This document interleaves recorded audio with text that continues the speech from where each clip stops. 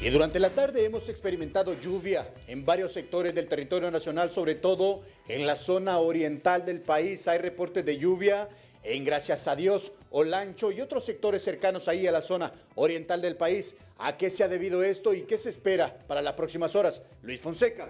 Gracias. Eh, se debe a la influencia de una onda tropical. Esta onda tropical eh, continúa en el país y nos dejará lluvias para lo que resta de la noche de hoy.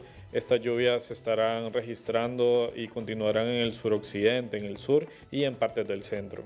Ahora bien, ¿este fenómeno pasa hoy o hasta cuándo? ¿Qué se espera para mañana domingo? Pasa hoy y ya para mañana las condiciones cambian, tendremos nada más los remanentes de la onda tropical y también eh, una vaguada en superficie.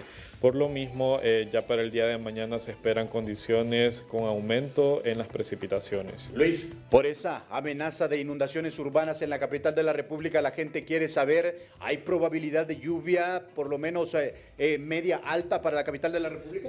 Muy importante, para mañana tendremos probabilidad alta en todo el país y estas probabilidades van a andar alrededor del 95% eh, también para la ciudad capital.